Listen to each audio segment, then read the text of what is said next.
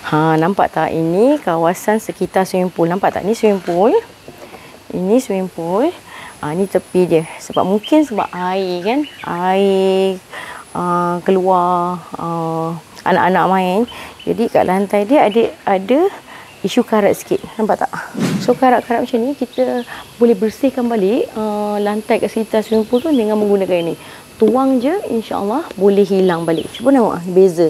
Ini warna asal dia ini yang dah kena karat. Sekitar tepi swimming pool keliling dia ada isu karat. Kawasan cantik tapi dia ada isu karat. Dan kita cuba bersihkan. So first step sekali Kak Fri basuhkan kemas satu je lah eh okay. first sekali lantai ni kita kena basahkan Ha, nampak tak? Ni memang karat. Memang karat. Memang karat tak hilang. So, Kak Firin akan ambil badang. Satu penutup saja. Okey.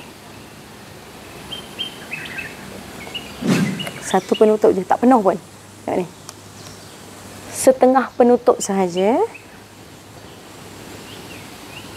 Ha, nampak tak? Kak Firin tak gosok lagi.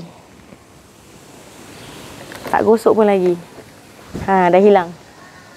Zoom sikit. Nampak tak? Dah hilang dah. Tadi karat tebal kat sini dah hilang. Kak Fri berusaha manja sikit.